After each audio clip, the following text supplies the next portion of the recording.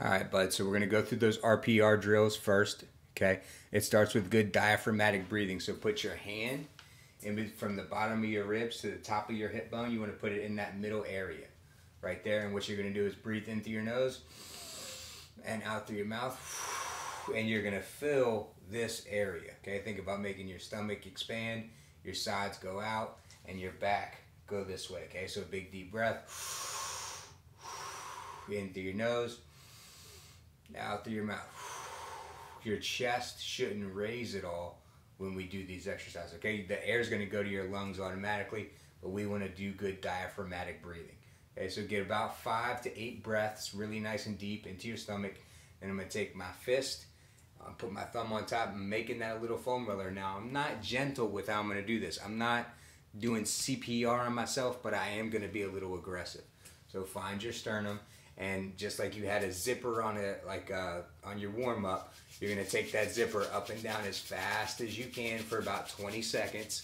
Okay it should burn a little bit especially if you got some chest hair. Okay now i'm going to take my fingers and go right along the bottom of my ribs and really do the same thing. 20 seconds of just digging in as much as i can. It should all if it, it should either tickle should burn a little bit but we're breaking up that fascia right along the bottom of your ribs to help reset your body so that the exercises can do the job they want. Now this is one we did while you were training. I take two fingers, I find my belly button, I go an inch out and an inch down. If you need help finding the muscle, when you lift your leg like this, okay, straight forward like a leg swing, okay, you are gonna feel that muscle squeeze like your bicep would. So once you find it, give it 20 seconds of work. Smash in there. If you feel like you have to pee, you're a little too low, Hey, but really dig in there. 20 hard seconds. That's all you have to do. Okay, last one of the zone one. I'm going to take my two fingers, put them on the back of my head. Excuse me, I haven't had a haircut in a while. Find the little nugget and go right along the back of your head. Really just creating a good massage. Should feel nice, not too bad. But then we get to the spot that's not going to feel too good. I take my ear, right like where your earring would be, and you should feel your jaw right there too. And what I'm going to do is take two fingers and just push my jaw forward.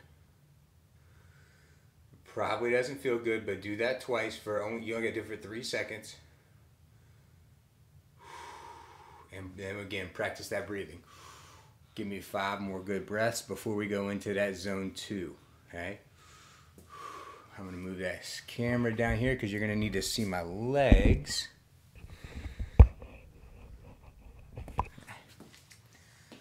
All right, so zone two, we start with our quad, which is giving you the problems, okay?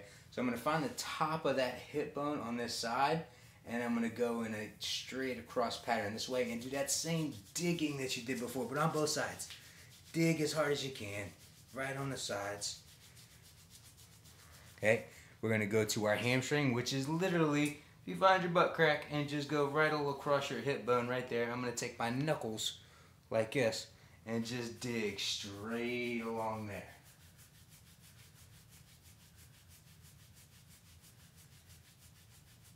Okay, remember it's always 20 seconds.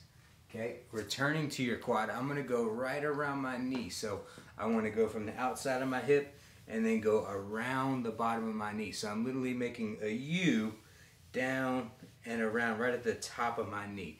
So again, push hard, dig in a little bit, get around the top of that knee, and again, we only got to be here for 20 seconds.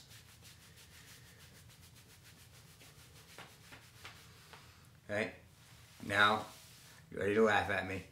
Because the ab one is silly, but it works.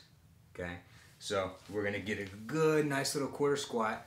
I'm gonna take my hand and I'm gonna karate chop the inside of my leg and then rub as hard as I can. So we've been doing 20 seconds, so now it's 10 and 10. 10 seconds as hard as you can, and then 10 seconds of rubbing. Okay, I think I missed one. Oh, I didn't. Okay, so we're good. Those are all the ones you have to do if once you kind of figure out how to do this, you see the picture and you just get to it. Again, this shouldn't take more than two minutes. Hey, we want to do dynamic warm-up exercises in between. Okay, so now I'm going to show those to you. in between each one or two movements, we're gonna do these exercises, okay? So we'll start with just good leg swings. So grab whatever in your house. My leg will swing back. When I swing back, I should feel a stretch right here and a squeeze in my glute and then swing forward. And it's not about how many you do, whether it's eight or 10 or 12, it's about you feeling loose. Okay, you getting loose. Again, other side, same thing. Right, get a couple more points in. So every one to two points, get some movement in. Hey, after that, we did these. Hands on your head. Big hip circles. Create a little balance, but try to stretch that groin out a little bit. Big hip circles. Again, these are in between one or two points that we just did, okay? After that, we're gonna go into the one that's probably not gonna feel too good for you, but it's one we gotta do. Hey, it's called a couch stretch. Okay, so you could do this on your couch or anywhere, you know, you have something to hold your foot up. So I'm gonna use this chair right here that I have books on. Okay. See if I can do this so you can see me. You see the chair.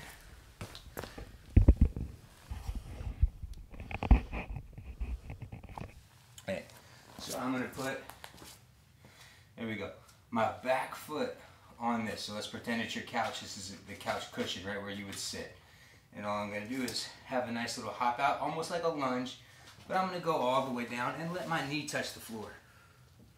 Okay, and you should feel a big stretch right in the front of your leg. Okay. Now the second thing I want you to do is the leg that you have your knee on the floor. I want you to squeeze that butt cheek as hard as you can. Just squeeze. And when you squeeze, that thing should fire up. Okay. If it hurts too much, relax. Okay. Don't dig in too far. Okay. But that should be a very big stretch, one that will probably help you the most. Okay. And here's a second way to do it. So if that way is too painful, right, if that's a problem, we're gonna do it on the ground. So the same kind of thing. Hey, I'm in that same position. That leg was just way up here on the on the chair. I'm gonna take my back leg and I'm gonna turn it to the inside. Okay, so again, it just looks like a lunge right here, and then all I'm doing is turning my foot and bringing it in a little bit. Okay, now the same thing. What I want you to do is this leg that's back here, I want you to squeeze that butt cheek as hard as you can. And you should feel a big stretch in this leg, the one that you have your knee on the floor. Right?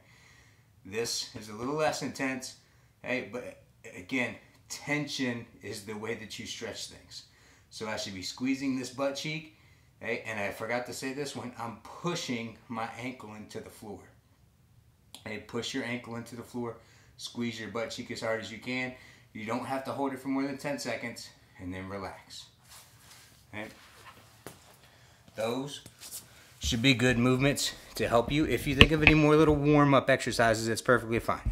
It's about getting you loose, but do all those points and make sure you do that hip flexor stretch as long as as well as the leg swings.